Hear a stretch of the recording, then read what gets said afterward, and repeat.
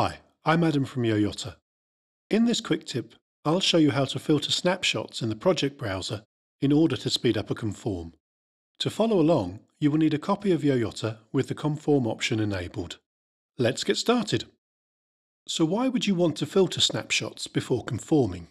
The conform option uses the visible snapshots in the project browser to conform against. As we have discussed in other videos, Yoyotta creates snapshots every time you start a job, complete verification, or if you click the Store Index button in the source browser. Over the course of a project, there can be hundreds of snapshots visible in the project browser. If we used all of them to conform against, we could have a lot of multiple matches to wade through. I'll open the project browser and click Open Projects. I'll then select the Yoyotta Quick Tips collection and open the Filtering Conforms project. This project has been set up to mimic the data path for a feature film or TV show. The camera cards were copied to a shuttle drive and then sent to a post house where the data was archived to a set of main and safety LTO tapes. As you can see, we have multiple source and copy snapshots. If we were to conform against this, Yoyotta would find multiple matches for each shot. We would then have to manually go through and remove the duplicates. Let me show you. I'll close the project browser and open the Conform window and drag in an EDL. Yoyotta passes the EDL and populates the edit table and the matched shots table.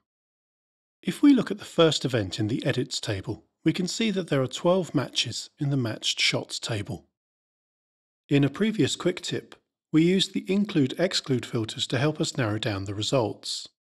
The issue this time is that a lot of the multiple matches have the same codec, type, resolution and path information. Yoyotta will use the first available match in the matched shots table when conforming. While it is not necessary to remove all the duplicates, it is often a good idea for the sake of clarity. To find a match, we would need to manually remove the duplicates for each event in the EDL by clicking the Remove button. This is fine for a handful of shots, but would be very inefficient when dealing with hundreds or thousands of them. I'll refresh the EDL to remove those changes. Let's go back to the project browser and reorganize the snapshots to make our life a bit easier. The snapshot filters are located underneath the snapshot table. They allow us to show or hide the types of snapshot as well as filter by media type. We can filter by all media, online media, all drives, all LTFS, main LTFS, and safety LTFS. In this case, Yoyotta refers to odd-numbered LTO tapes as main and even-numbered LTO tapes as safety. There are several ways of naming LTO tapes, and these are discussed in more detail on the Yoyotta website. It is worth noting that the snapshot filters are persistent, so it is always a good idea to set them back to their default values before you quit Yoyotta. I'll click on the media column in the snapshot table to sort the list and then scroll down. We have snapshots for Macintosh HD and YOY001 and YOY002 LTO tapes. If we look in the kind column, we can see that we have source and copy number 1 snapshots. I know that the source snapshots no longer contain the required files, as the project was archived to tape. The main tape stayed with the post house, and the safety tape was sent to the studio. I'll click on the All Media filter and set it to Main LTFS in order to select just the odd-numbered tapes. The snapshot table updates and only shows the YOY001 copy number 1 snapshots. Using this filter, has reduced the number of snapshots from 29 down to 7.